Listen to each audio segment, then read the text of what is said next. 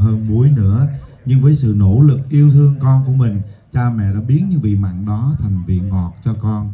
Và đôi khi những cái khoảnh khắc là xung đột giữa con cái với cha mẹ, đó là khoảng cách thế hệ. Và mong rằng sau phim, khoảng cách thế hệ nó rút ngắn lại. Và mong rằng sau phim, những người con sẽ biết công ơn của ba mẹ, sẽ nói lời yêu thương ba mẹ và đặc biệt là ba mẹ sẽ có thể chia sẻ với tất cả những cái gì với con mình để khoảng cách nó gần lại.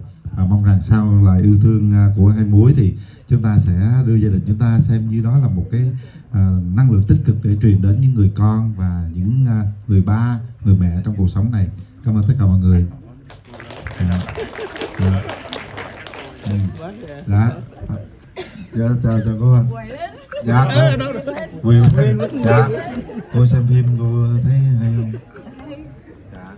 Cảm cảm cảm động hả? Dạ cô đi xem với ai? Có à đó có con nữa.